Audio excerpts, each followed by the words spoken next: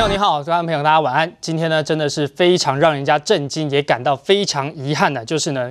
完全没有办法想象，过去呢好像要看好莱坞电影才可以看到的情节，甚至你要看国外的新闻，遭受到恐怖分子攻击的那样子的一个情节，竟然就这样活生生、血淋淋的发生在我们台北捷运的车厢里面。这是今天下午呢发生最让人感到、让全国民众感到十分震惊的一个新闻。一个原本应该是要成为国家栋梁的年轻人，竟然就。动机不明的，而且呢，在台北捷运的车厢里面随机的公然行凶，到底是怎么回事？为什么我们的国家会面临到这么惨痛的一个这种惨案？所以呢，今天的节目呢，我们特别得改成现场播出，一定要跟大家来关心跟讨论的相关的一个议题。我们就介绍呢，今天一起参与讨论的来宾，首先介绍媒体工作者康仁俊，熊伟好，大家好，以及台北市的议员简于燕，主持人好，大家晚安，以及新北市的议员林国春，熊伟好，大家好，还有警改会的发言人马在勤，哎，大家好。以及资深的媒体人王瑞德，熊威好，大家好。嗯，好，这一起事件呢，我们在这边呢，也只能够跟所有的这个伤者呢，甚至是遇害者呢，致上最诚挚哀悼的一个意思。但是呢，没有办法，既然事情是已经发生了，我们一定要先来了解呢整个事件的前因后果是什么。因为呢，现在这个伤啊，实在是非常的惨重。截至刚刚为止，又多了一名死亡的一个不幸的对象。现在呢，死亡的人数已经到了四人了。我们来看这个新闻。捷运江子翠站的月台上，身穿红色 T 恤、黑色短裤的男子，就是在捷运车厢内持刀随机砍杀乘客的凶嫌。就看捷运人员拿资源回收箱砸向他，企图阻挡男子继续行凶，而所有乘客就像逃难一般拼命往月台外冲，还有人躺在月台上一动也不动，因为就在五分钟前，车厢内已经血流成河，民众倒成一片。后面的人就是说，后面有人疯狂杀人呐！有一个男生呢，就是看到人就砍啊，就一直一直砍，一直砍，一直他，一直砍啊。那车厢你怎么跑啊？已经到站了，大家才赶快跑出来啊！哦，你看我全身都是血。这起骇人听闻的随机凶杀案发生在下午四点二十六分。当时捷运列车正从龙山寺开往江子翠，而这名二十一岁的男子就在封闭的车厢内，手拿两把刀，开始疯狂砍杀。短短五分钟不到的时间，已经酿成二十人受伤、三人送医前死亡的悲剧。警方接获报案，随即赶往现场将他逮捕。他是自自己讲说，他小时候就有这种想法，大概国小的时候就有这种想法。他在高中或者上大学跟他同学讲过，他有这样的想法，想做一件大事，类似这样的一个劫杀人这样事件的一个大事。他本来是想说大学毕业再做，他现在提前做了。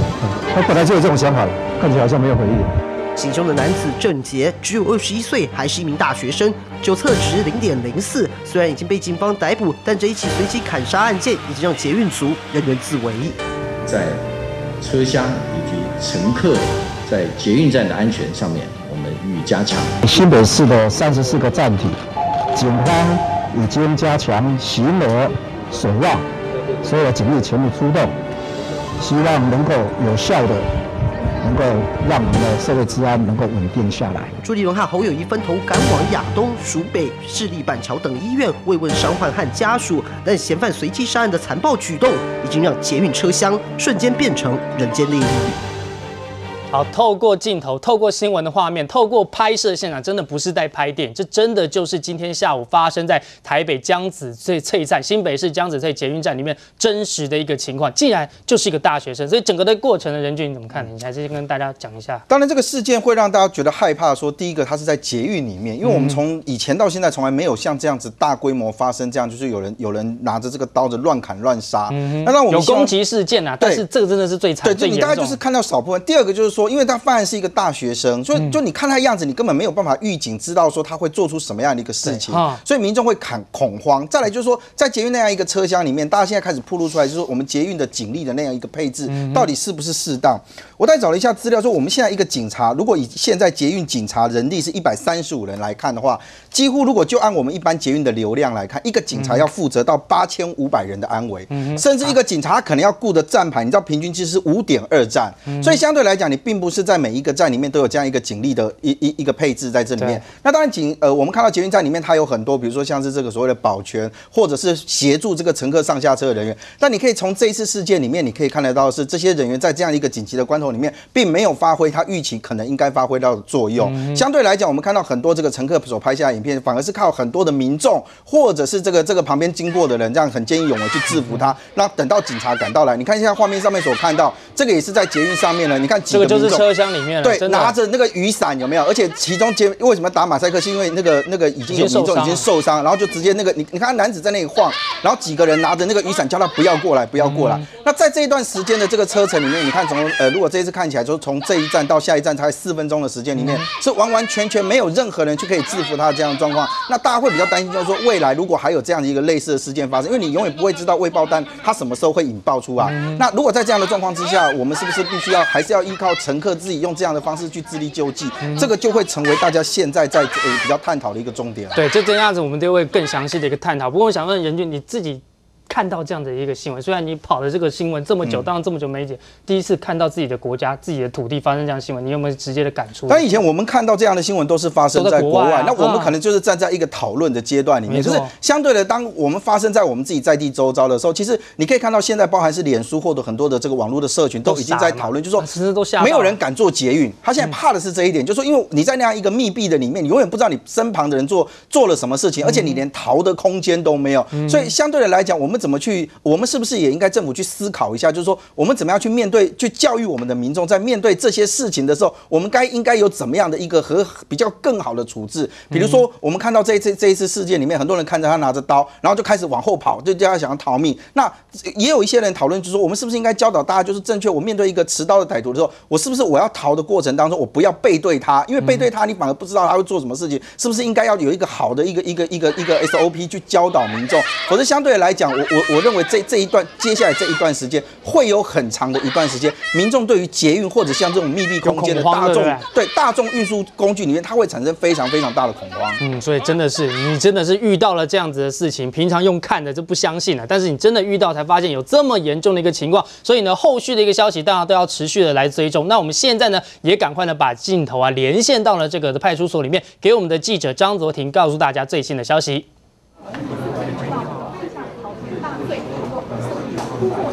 记者现在位在新北市的江翠派出所。那么今天呢，这一起随机砍人的事件呢，根据现在的最新消息，目前死者的人数已经增加到了第四人。有一名今年六十二岁的李姓女子呢，她在稍早的时候呢，也已经正式的宣布了死亡。那今天呢，发生了这样子的一个事件呢，那目前呢，累积的伤患总共还有二十一名，而死者人数现在已经正式的变成了第四名了。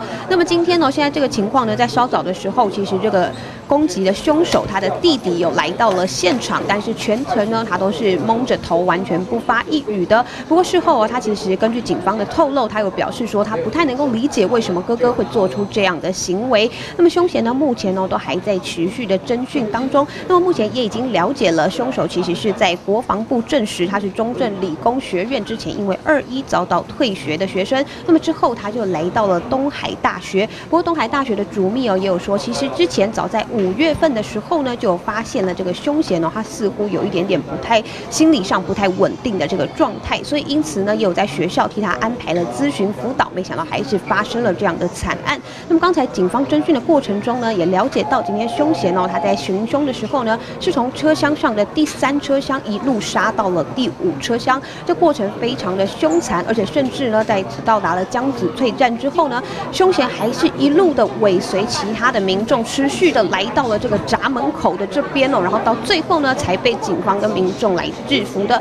所以今天呢，这个现场的情况真的是非常的血腥凶残。那么现在哦，其实呢，这个伤伤患的人数，因为有一些民众是自行就医的，所以呢，还是有持续的在统计了解当中。那么现在哦，其实，在现场的外面呢，虽然天气状况不是很好，刚刚有在下起大雨，还是有很多激愤的民众呢，其实一直在警局外面守候着。那有一些其实是伤患的家属，因为他们现在心里非常的愤。难平，所以现在一直在外面持续的等候之后嫌犯被送出来的这个时间点。那么以上哦是现场最新的情形，我们将时间交还给主播。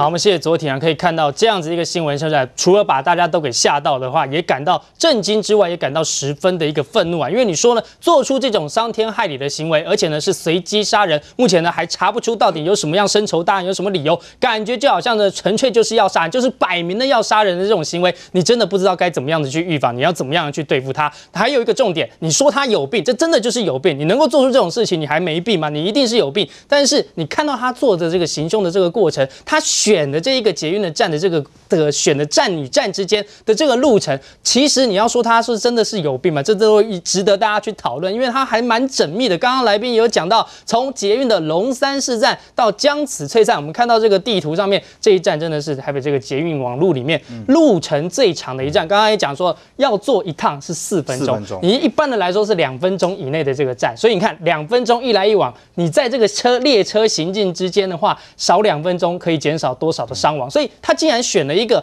路程最长，而且所以看让很多的民众又是在快要下班，是都是学生，都是老弱妇孺比较多的这个时间做这样子的事情。我想瑞德哥今天是不是感受非常深刻？对，没有错。为什么呢？因为我在第一时间知道这个讯息的时候呢，我的太太人正在捷运板南线上面。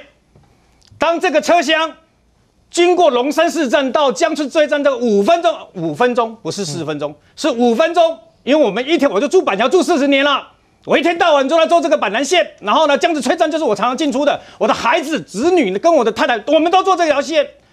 他在案案子发生的时候，血案发生的时候，他就在下一个车厢，下一个捷运的列车。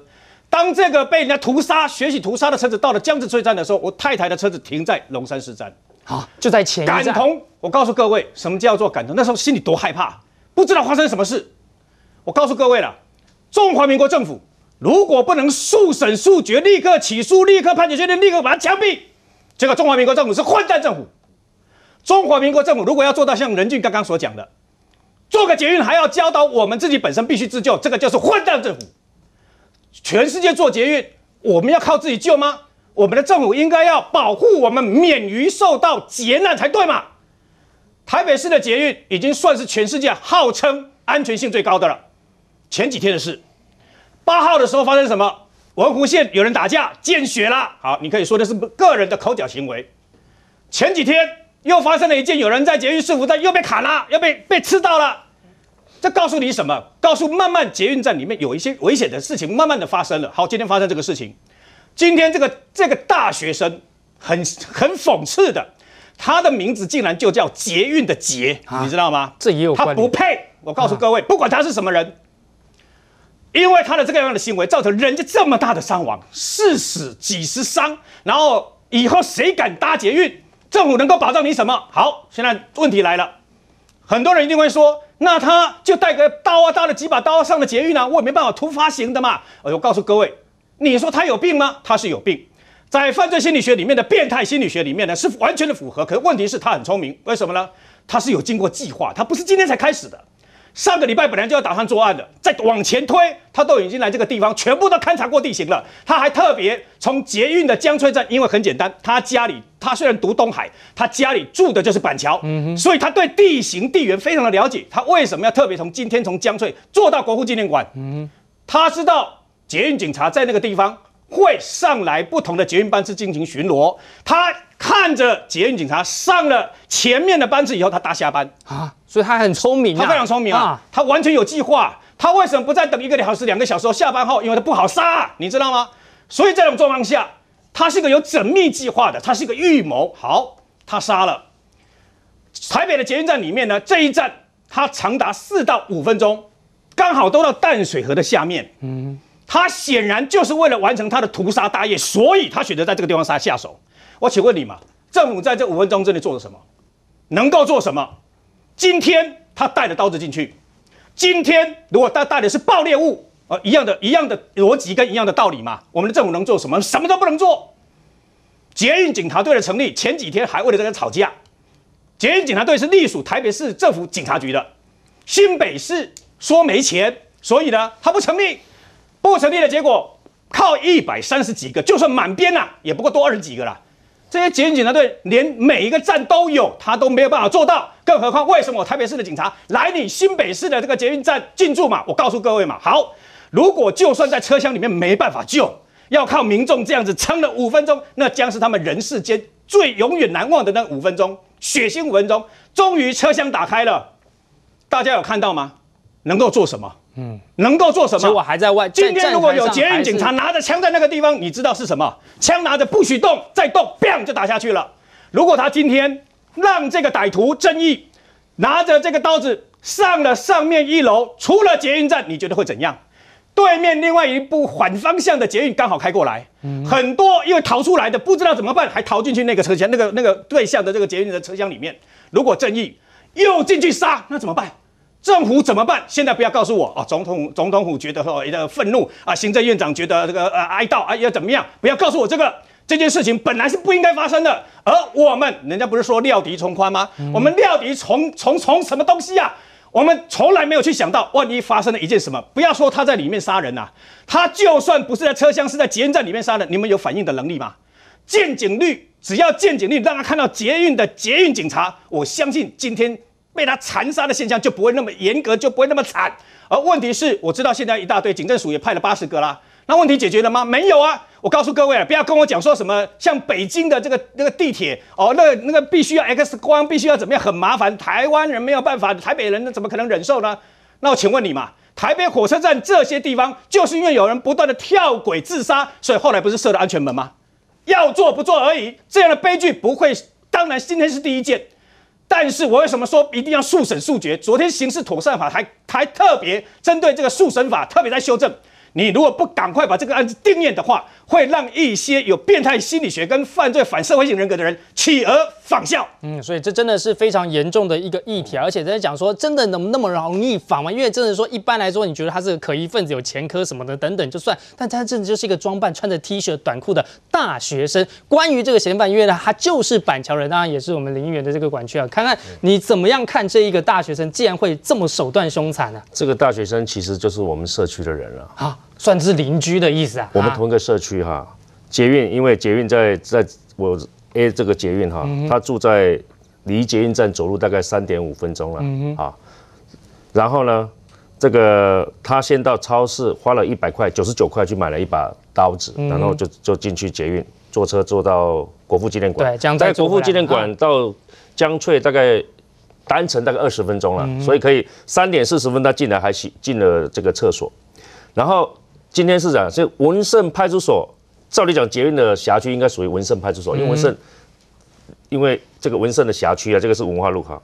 那文胜派出所有警察，刚好在捷运旁边做摊贩的取缔啊，因为下下班的时候很多摊贩，刚好这个派出所的员警有带枪就下去就逮捕了。因为江翠派出所又离捷运比较近，所以带到江翠派出所去侦讯哈。那重点在哪里啊？重点是这个大学生呢？他虽然被这个军校退学，然后读了东海以后呢，他在学校里面是一个宅男。嗯哼，他爸爸妈妈跟我讲说，几乎要跪下来讲，他说是毁了，这辈子都毁了，真的毁了。如果要陪这些人，陪不完了。他也是一个正常的上上下班的人。我说有跟他的家长对到话，对，有坐就坐在我旁边嘛。重点在哪里？重点这这个学生呢，他从头到尾，他觉得今天警察打电话给郑妈妈的时候。他妈妈以为是诈骗集团啊，还以为是以为是诈骗集团。我我小孩应该在学校的宿舍啊，怎么会这个时候在台北呢？嗯啊，所以他因为我就说嘛，说我刚刚这个地缘关系，他走路就去捷运很近嘛，就发现说果然是他儿子。嗯，然后啊，这真的是晴天霹雳啊！晴天霹雳，这没有他的车子停在我后面啊，所以我我就觉得说，他从小到大这个小朋友喜欢打电动玩具，嗯，所以每天都生活在那些刀光剑影啊，电动玩具，你知道现在电动玩具很很很。网络上面很暴力的，嗯嗯，所以他非常的宅。我说，那他有没有就就诊的记录？完完全全没有。你看这个小孩子哦，很高哦，对，跟他弟弟一样都很高哦，大概大概一百八十公分，我也见过。嗯，就平常我们都看不出来说他有任何的异状。说今天发生了这个事情以后，父母亲情何以堪？对，这当然了，当然一定是情。就他来讲，我也很同意说，啊，刑事妥妥诉法的这个成立以后，嗯。立法院通过以后，这个案子要速审速决，要不然会赞成太明显了，会会造成很多这些家属啊。呃，今天刚刚发生说亚东医院那个也死亡了，对，本来现场现场送到医院的时候，死亡已经有三个人，而且还有很多重伤的，很多受伤的。所以发生了这个情况以后呢，我们会思考说，今天是在捷运，有没有可能发生在高铁、嗯哼。地铁？当然有可能啊，嗯，西门町这个闹区，嗯哼，任何地方都有可能，任何地方都有可能类似这种人的人存在，因为他的人格特质，他的成长过程里面可能有一些缺陷，对，可能没有一些给他一个教导的方向，然后他又不住在家里面，嗯，所以一直在学校里面，学校里面也没有同学就跟他在一起的互动，嗯，所以发现说他，但他现在也没前科，也没有什么，也没有什么明显的这个线索，所以也没有任何的征兆说父母亲会把这个情况通知任何的。啊，比如比如说医生啊，啊，比如说警察啦，他有什么异状啊？完完全全没有，所以它是不定时的炸弹，刚好就在捷运里面车厢里面，那车车厢里面因为人多嘛，这个要受伤人，他他说他要做一件大事，嗯，这个的确是一个非常大的、非常大、严重的，真的就是做了一个大。如果今天他是在很这个空旷地方，大家比较容易去防备了，但是捷运里面呢，没有那么多的警察，嗯，所以捷运里面的警察呢是不是要增加？这个跟可能要去讨论，可是这种事情今天是发生在捷运还有月台上面。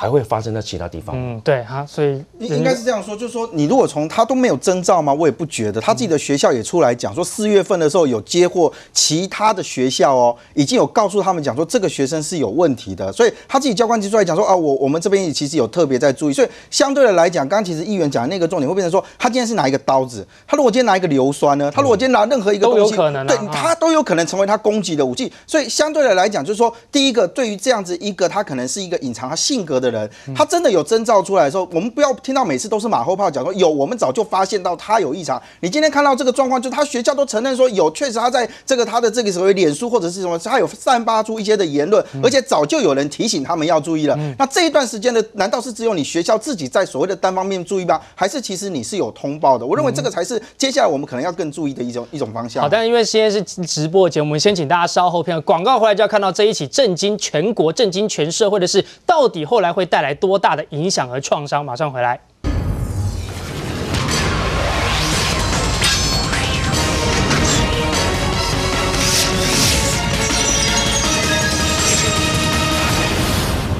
好，震惊全国的捷运杀人惨案啊！这个凶险呢竟然是年仅二十一岁，目前就读东海大学二年级的大学生呐。所以呢，我们现在呢也赶快连线给在东海大学的我们的记者，这个林尚贤呢，刚刚看看最新的状况。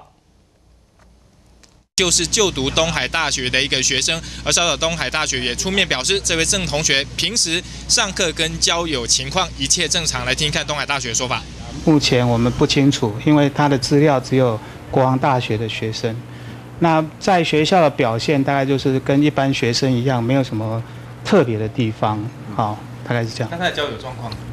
呃，因为他是转学生，所以交友状况就是比较。没有那么像我们学校的学生那样的说跟大家很密切在一起。那他住校吗？住校的同学有聊到他吗？呃，住校，因为我们一时之间也没办法去访呃查到说这个住校学生目前的状况了，所以住校这一块呃可能我们会后续去了解。在四月份的时候，我们实际上有从他的呃行为表现有一些异常状况，那学校有介入辅导。在 APP 上他有一些。呃，说法了。那我们觉得说这应该要加以辅导，所以我们系教官跟有资资商中心，什么说？他是说他要在今年度要有一番大事业。那我们很敏感的认为说这应该会有一些问题可能，那我们就先介入辅导。呃，因为最近大雨啦，所以我们这学校也有一个政策，就是说，呃，经过校长核实说，最近尤其是东海大学又。风都比较大，风雨比较大，所以对于学生的请假，我们都有上千说，请那个校长是不是同意说，呃，从宽处理。所以这一块老师们大概就是这段时间都不点名，刚好就这段时间，因为。风雨太大了。好了，对此，东海大学呢是特别声明，也代替郑杰向社会大众来道歉。而在下午发生事情的第一时间呢，学校的重要干部也立刻赶往了台北，要协助警方来做后续的一个处理动作。以上是我们在东海大学最新情形，时间交往棚内。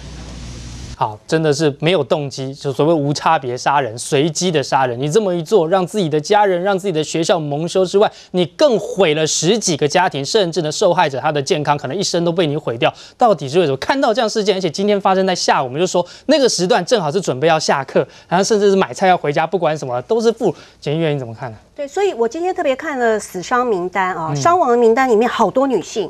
哦，一般因为这像这种凶杀的事件的时候，很多男生都会见义勇为。哦，真的是像任俊如果在场，瑞德如果在场的话，可能拿出来抵抗。可是你仔细看，受伤的多数女性哦，也都是三四十岁的，然后死亡的甚至六几岁的阿贝啊这些大哥。所以显见四点多，他选择犯案时间，让他可以不只是这个撑这个四分多钟。哦，他选择这个时间正好车厢内，呃，妇孺比较多，老弱比较多，我觉得也是死伤这么惨重。但也太毒了吧！就是挑这个妇孺的时候，他真的就没有人性啦。对，所以刚刚我看，呃，校校方致歉了，哦，呃，这个新北市市长致歉了，那么多的致歉，可是我刚刚听了国政议员所讲，我心里跟大家都一样有个疑问：为什么？为什么？为什么？嗯哦，因为这个我去了解，他这个呃爸爸还是在台北市的一个工程顾问公司工作，家境小康还不错。哦，你看他学历也是很漂亮。那如果照刚刚所说的，完全没有就医记录，学校也觉得一切正常。嗯，他只有一个是宅男而已。如果单凭这个理由，那我们身边千千百百万万人全都是宅男啊，对啊。对，那所以他会造成了集体性的恐慌。那今天我身边已经很多单身的女性跟我说，她不敢做捷运了，真的会被吓到，就是因为你看看到这个，尤其看到那个车厢的照片，真的是很惊人啊。对，所以我在这里呼应瑞德大哥，的确我们是应该提高捷运的见警率。那我去查了，捷运没有错，这几年来一直是一百三。十五人，今天的确加进了六十人，还八十人。那本来预计我们明年就要补到一百六十六人啊，这是因为这个数字就算补到这样，那个比例还是后年要到一百八十人。可是捷运增加成长很快，呃，我们现在已经有一百零九站，所以你用一百零九站的话，我们要扣掉里面还有刑事警察，一百零九站里面扣掉刑事警察，我们平均一百零九站平均维持是有二十一个警察在巡逻，配枪警察。所以我们根本不可能有人随车。我们所以一百零九你除起来，平常是五到十二站的时候有一个警察，嗯那这个当然是离谱的太低了。所以我们现在我现在的要要求是，台北市政府应该让，呃，台北市捷运警察队，哦，对，应该要达到每站一警。因为目前监狱警察是每站一个保全，一个驻站工作人员，所以每站一警的话，你还要再加上不定时巡逻的话，其实台北市监狱警察队应该到三百人以上。嗯，那你随着松信线再继续成长、成长，再继续开通，以及几个路线开通的话，这个问题会越来越严重。好，可是大家一定会问，其实你今天看到这个情况的时候，光有警察是不够的。光有警察的话，是今天四到五分钟，运气好的话，警察如果在这个车厢就没有问题了。那出了车厢，照理说，因为已经杀了四分钟了，警察哦，就是附近的派出所的主的一早就接获通报，应该是在捷运门口拦住他。嗯，可是有点可惜，就是又晚了一两分钟。他到上面是有保全跟六十四岁的阿北把他制服的。好，所以我们这样看起来，我们的确全民现在都应该展开一个捷运警察的紧急事件的 SOP 训练。包括人民啊，因为我们现在会面临越来越多的九一一之后的这样的一个恐怖恐怖攻击，我们应该要在现场，因为我知道最近才有那种车上性骚扰的 SOP 才出来，所有人都知道，第一个按铃，第二个尖叫，第三个司机要把车开到派出所，不要放人。嗯好，我们的捷运今天开始也应该演练这样的 SOP，我们很无奈啊，但是当这个案件没有一个具体的解决方法之外的出现的时候，我们希望不要像呃这个。韩国一样，他们是解散海上警察来作为道歉啊，这好像这样也没有什么实质的帮助啊。对我们解散捷运警察当然也没什么用。对，但是我们现在必须痛定思痛。今天有两个人道歉了，明天还会有更多人出来道歉，可能爸爸妈妈也会逼社会被社会逼到出来道歉。哦，那但是光道歉有什么用呢？我们必须全部从每一个。每一个环节开始重新防堵。对，好，但是我们看看这这一次的这个事件，真的是非常，我们说的真的是让大家很震惊。而且呢，你要是让那么多的妇，不是每一个男生都这么样勇敢，更何况是这个老弱妇孺。所以你看到了这种这个血淋淋的画面在，而且真的，甚至你亲身参与到遇到这样的事情就发生在你的身边，你以后造成的心理创伤会有多大？所以，我们今天换问马大哥，就从各个层面来看，你觉得包括那些防治的效果，到底有没有效？还有，你看对这个社会造成的冲击跟影响会有多大？呃，其实这个案件，如果我们要采取预防的角度来看，我认为不太容易。嗯，因为这种随机性的，然后它潜伏期那么长，又没有前科背景的话，我们想要去预防做这件事情，我觉得大家是亡羊补牢啦。大家都是在放马后炮，事情比较多。但是如果你从整个警警力的配置跟当时发生以后，一直到他离开站体被逮捕这个过程，如果这段期间我们能够让死亡变少。伤害变少，我觉得是现在我们可以立即马上检讨的。嗯其实刚刚魏哲说提到的，当然警察的人员真的是不太够。对。我们如果从铁路警察来讲，铁路警察是专用编制的。嗯。铁路警察全台湾几个站？那再比上捷运警察的站，我们比比看，铁路警察多少编制？捷运警察多少编制？我们还不把它编满，更何况捷运的人次应该已经可以破诶每天的流量可以超过铁路的。流量，嗯，所以从从量上面来看，甚至台湾的这个捷运文化来看，我们发现说，其实警力事实上不够了。但是我们的捷运警察可能认为，台湾的捷运事实上是可以引以为傲的，嗯，它的准点呐，或者它的为这个妥善率，其实过去也没有发生这么严重的事啊。还有我们搭捷运民众的素质也是挺高的，所以我相信，我不知道我们的警政单位是不是把这个搭捷运的民众素质。考量在这里面，说警察不用那么多啊，我们民众很好，都会是看到老弱妇孺都会让位，何必不可能有这种神经病会拿着刀子乱砍的？所以警察不用那么多啊。现在就真的遇到了，现在遇到了，所以各位可以看到说，如果我们每台车如果不能没有办法要求的话，至少我认为被动式的在每班车的车厢上面，也许有人不同意放一些什么什么灭火器啦，或者是棒球棒啦，车厢或者是棒球棒，类似那种棒球棒，有那些武器可以让民众在密闭的车厢里面做至少稍微的抵抗。你 A 车厢。发生凶杀，B 车厢可以拿那些球棒出来哦，你看当然是放在一个玻璃柜里边去。那至于被偷会被抢是另外的这个处罚法则，至少我认为被动式可以这样做。那积极主动式是能不那个传达系统能不能按门铃按了那个警铃以后，马上通报这个机车员在下一个站体。我说到下一个站体开门之前，警察就在门口拿升等他。我们有没有这个能力？看样子没有达到。现在是还没有。刚刚看到那个穿红色衣服的到现场。到现场以后还爬爬到上面去，对，还走来走去嘛。各位如果看什么叫捷运，捷运就是来去都很方便才叫捷运。嗯如果今天这个歹徒不是曾经想被捕，他一杀了冲出去，冲出去了，大家还没问那个穿红色衣服的是谁，已经跑掉了。嗯我们的警察想要逮到他还逮不到。对。所以我觉得以目前来讲，我们目前警察的编制，对在每个地方每个站体，我认为已经严重的不足了。如果如果要按照这个流程去检讨的话，我们唯一能够检讨是如何让整个流程缩短，让民众。这个受伤的几率变少，好让这个伤亡变少，这才是目前能够马上做的。嗯，所以呢，发生这么严重的事件，我们刚才也提到，这个呢，直接要负责的的地方首长一定要站出来，来来面对这次，来安抚民众的一个情绪，来想办法呢，啊，想一些呢后续处置的一个作为。所以我们就来看看呢这个报道，来看看台北市长郝龙斌怎么说。是，嫌犯是一位私立大学的二年级学生啊，现在他犯案的动机不明。呃，据我们的了解是，他在江子翠站上车，然后搭到呃国父纪念馆。是国父纪念馆。那不是他搭，然后再从国父纪念馆回去的路途中间，从龙山寺到江子翠开始，呃，就是行凶杀人。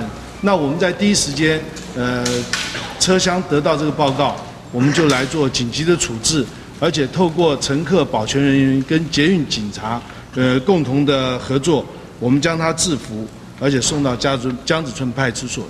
我已经指示台北市警察局，在第一时间，现在在所有捷运站都加派警力，由每个分局负责，在他辖区内的所有捷运站都要有远警到场，见警率提高。同时，我也电请呃警政署王卓军署长，呃增派两个保安分队到台北市，为期两周。短期之内，这些保安分队的员警跟我们捷运警察局的同仁会在捷运车厢里面巡逻，保障所有乘客的安全。我也跟呃新北市朱市长，我们已经联系上，就是现在新北市部分也会采取同样的作为。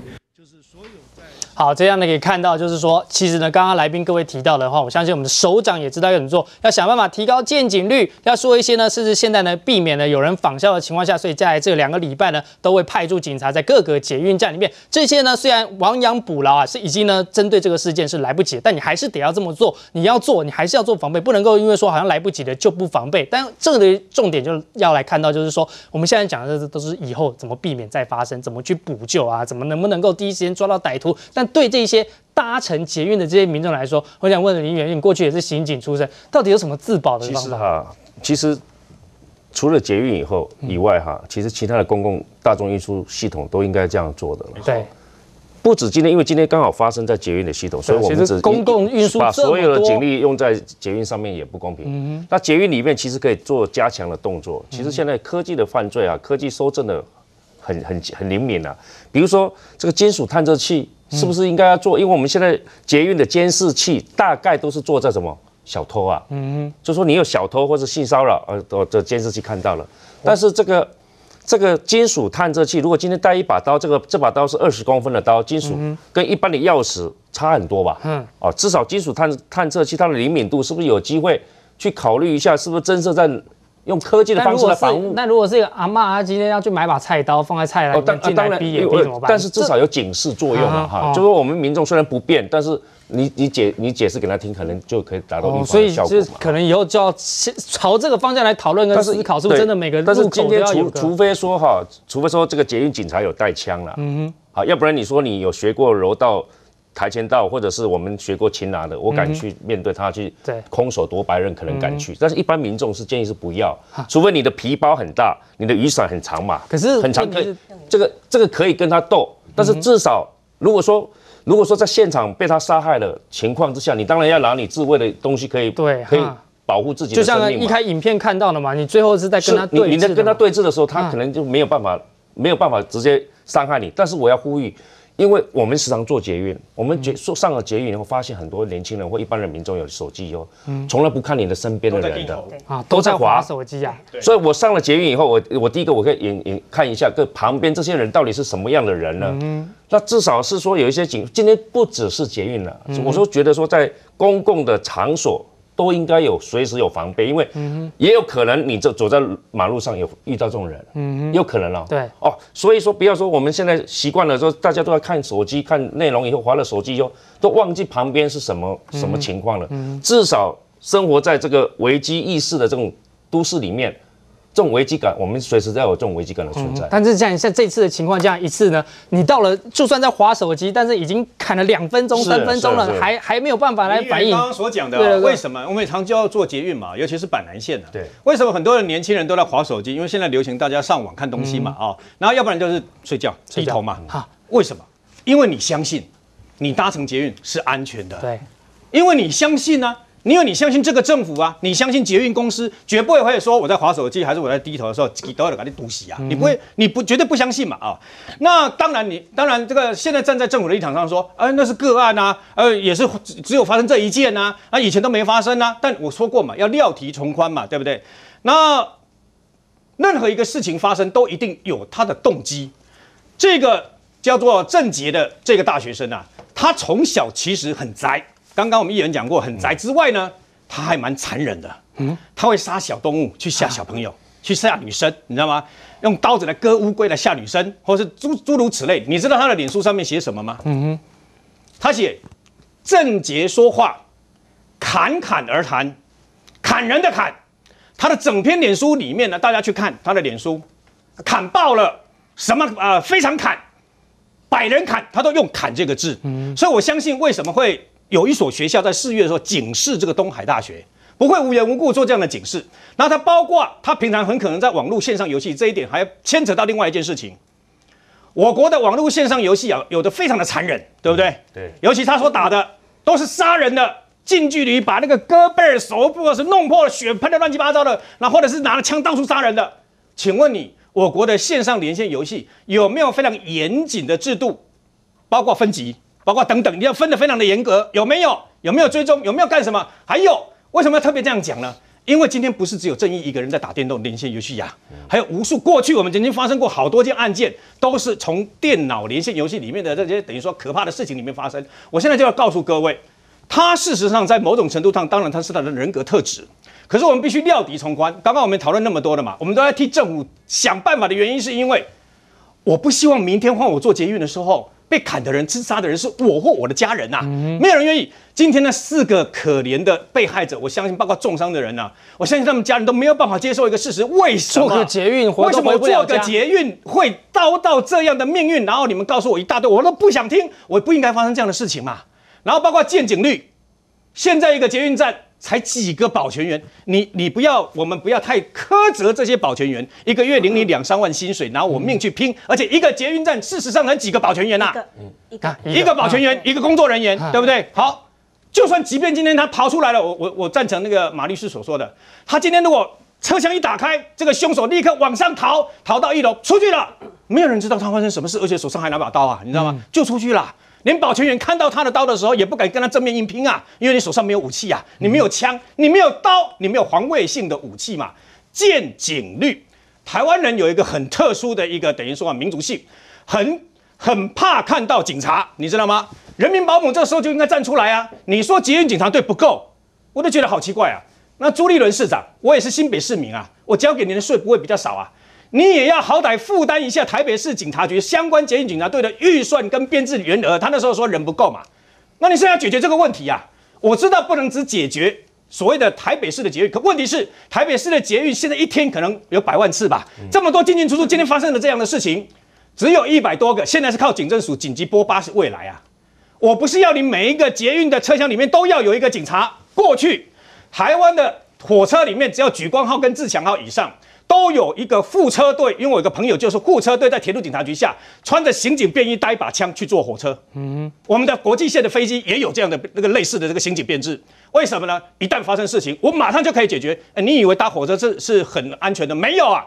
二零零九年台铁曾经发生火车上，为了一个争风吃醋，一个大学生很倒霉，也没有偷看，没有什么偷看那个对方的什么女朋友的胸部，对方拿起。包包里面的猎刀，当场就把他给捅死在车厢里面。这个人最后只判无期徒刑，没有判死刑。嗯，我告诉各位的就是说，亡羊补牢，为时未晚。但是已经发生了，你不能料，我们必须料敌从宽。你不要告诉我说什么呃，不能只有捷运警察。当然啦，高铁铁路局，包括我现在知道的高雄捷运已经加强它的整个整个护卫了嘛。我们都公共运输，你都要小心，都有可能发生。那一旦发生的时候，你该怎么办？所以你不能再用那个什么员额不足啦，预算不够啦，不能再用这个东西了。料敌从宽，我告诉告诉这些做官的，搭乘台北市捷运还是任何高铁、台铁还是任何高雄捷运，这些人一个人都不应该被被人家杀，一条命都不应该丢。因为我相信你这个政府，不要告诉我你有帮我投保四百万，对被害人家属来讲，我要的是一条命，不是钱。嗯，好，任俊，你最后因为时间有限，你要怎么补充？应该是这样讲，因为当时大众捷运法里面有规定，说我跨县市的时候是有这两个县市自己去协调，所以九六年的时候是大家协调之后同意由台北市政府警察局他来处理。所以相对第一个就是说，你你这个这个以接下来你大众捷运法那个部分是不是应该要去修，让双方都负责共共同去负责？因为零九年的时候后来有在协调，就是说如果发生地在新北市的话，是由新北市警局处理，这是第一个。第二个就是说，瑞德哥刚刚讲到那个，其实我就觉得比较悲哀，就是说我们民众出事要靠自己去做抵挡跟自卫，不过相对。来讲，就是我们也应该告诉民众，就是说在遇到紧急状况，在列车里面，列车里面有紧急通话钮嘛，你可以跟列车长联系。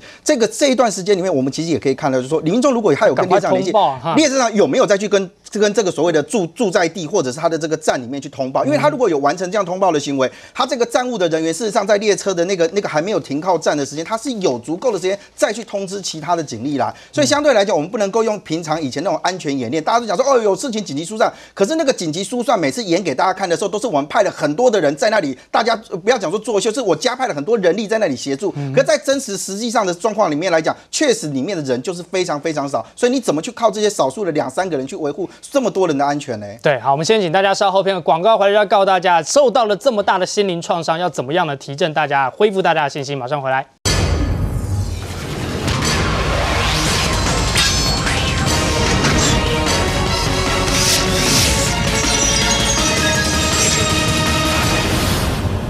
好，我们今天探讨了一整天这种外在的防备的这个问题，但是呢，真的就发生了这种惨案跟血案，而且婆婆妈妈都看在眼中。我们要问的就是说，那种直接搭捷运的通勤族，这一些事件对社会的冲击这么大，要怎么样弥补呢？马大哥？呃，其实啊，这个冲击大不大，我其实也不太了，因为我不太做捷运啊，真的。结果今天五点没有办法感同身受，就是五点多的时候，我办公室两个小姐一直跟我讲发生事情，我说什么事？嗯，这个被砍了，啊，有这么严重？你看到我从他们的眼眼神，真的吓到，看到两个都是女孩子，每天做捷运上班的，我看他们眼神，我吓一跳，我说有这么严重吗？结果回来我看了电视，我才发现，哇，真的是这么严重。其实对每个上班族，尤其女性，其实那个阴影，我觉得从她看到报纸那一刹那，那个新闻就已经开始在身上。所以现在当然。短期内一定要让警察在捷运的这个周遭，让让他安心，先让他安心，然后让那当然我们这个嫌疑犯已经抓到了，那后续的程序哦，这个判决的情形，我们是不是社会加以足够关注，然后加以这个尽快的让他处理掉？但是我觉得第二件事情是最重要的是说，我们的民众让民众如何确信说，当你去报案的时候。就是不管你是用电话去报说捷运里面或大众运输系统里面发生事任何事情的时候，警察能够在很短的时间内到现场。我觉得这个是你要是完全你要说服民众说没关系，你在大众捷运系统里面只要电话一打来，我保证在下一个出口一定等到你。嗯哼，我觉得你要让民众有那个感觉、那种感受，而不是我们照张刚刚那个讲法，你在现场按那个通话钮。我不我不相信那个通话钮的通报会比现场打一一零结果最后是打一一零。对，最后我应是打一一零，你要接到通报，但是新问题又来了，一一零。一零的系统指挥系统是在这个可能在新北市跨街，我不知道是那个一零是哪个地方收到的，然后再去通报捷运，捷运再通报站体。我我觉得这个通报系统是长的，报案系统是短的，但是按钮如果是现场按钮是通报系统是长，但是反应时间是短，这就很奇怪，这非常奇怪的事情。如果你没有办法说服所有的民众，你打电话来，警察在最短的时间内就能够到达现场。这个不只是告诉民众，也告诉歹徒，哇，就更得高啊！啊，你看你能够砍几个人？哦，好，那最后那那些捷运，你要补充一下，因为你很多的朋友，你刚刚一开始也讲说都是捷运族我自己是每天坐捷运上下班的议员啊，我刚开头每天坐捷运的时候，还会有捷运公司人以为我是去考察，后来发现每天都看到我，其实是就不通报了。啊。但是最近的保警从今天进驻之后，捷运警察就对一定立刻发现问题，因为捷运警察相对的专业，例如说他们的通勤、他们的通话。他们的整个的通话系统是跟车厢里面以及整个在呃这个呃站站体里面的对站务的特殊的有一个通特殊的通话系统。他们第一步就得先培训这六十个到八十个保警，开始熟悉用不同的机器来使用。他们连这些机器都还不够。那此外呢，就是。呃，在捷运警察上面的执行方式跟一般也不同，所以今天开始这一百三十五个人要扩编到我们觉得勉强可以的三百人。其实捷运警察队从今天开始就一个全新的开始了，甚至我建议说，他是否应该要提升层级，不只是单属于台北市而已。我觉得这个应该要有要展开讨论，这个是王卓君应该此刻立刻就要开记者会做的宣布。哦，这可能后续就要看了，没做又要被一定会被骂，那但是但是对我来说。因为我是公众人物，我上捷运或者上了一群的这的地方，因为我曾经有名嘴朋友也被攻击过，嗯，所以我上去第一件事哦，当然不是划手机啊，我就是先看全部，对，那一般受过国安或情治及警察训练，也是到一个现场，比方我今天办一个造势晚会。我一到现场，即便我是演讲者，我还是会看一下。你一看就会发现有神色、有莫名其妙的人。好，这个东西我认为是所有的台湾人正常的上班族都应该要学习这件事。你只要扫射四方，养成习惯。那么，呃，如果你觉得有问题的时候，其实应该快速移动。对，快速移动是保保全自己安全的比较呃比较明确的做法。那当然，另外你已经发现已经前面十个人都被砍的时候，这时候你要逃吗？不一定，对不对？有的时候你就必须团结身边的人，那这个东西就必须受训练，对，因为已经有十个人被砍就没那么容易喽。对，你说你必须要做一些判断。那比较有趣，呃，值得大家参考的是村上春树，日本作家，他曾经在日本奥本奥姆真理教的毒气杀人事件之后，针对这个做系列的长期的反弹，嗯就是为什么在被砍的那一刹那，呃，为什么那个毒气放在你脚下？而你就在那里不觉，你闻到了，每个人都闻到了，可是为什么你忍耐？而当时他发现是家里排行第二的人特别容易忍耐。那因为台湾人跟日本人一样，集体意识都很强。我们可能会忍耐。我们可能会想躲一下，我们可能会想怎么样？那我们可能在今天这个世界之后，我们必须重新挑战我们的民族性格。我们此外，除了我们要学习哦，像我自己随身都带这个防身的，防身的，对，真的意外随时都会来。对，不是因为我是艺人哦，不是因为我是公众人物，而我当小姐的时候，我们就随时做好各种准备。